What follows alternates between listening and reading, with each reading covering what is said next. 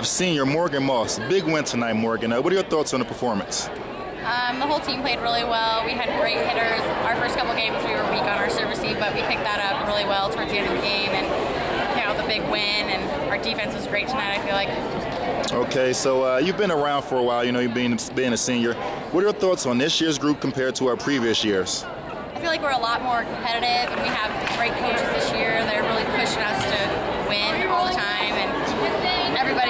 is getting along, and I think that's huge. And determination is a big key to our team this year. And the team defense stepped up tonight. Uh, can you uh, comment on that? Aaron did awesome. I think our back row in general played great. We had a great scouting report to look after, and we just went and played every single ball. We didn't let anything hit the floor without going for it, and that's our big main goal for the season. So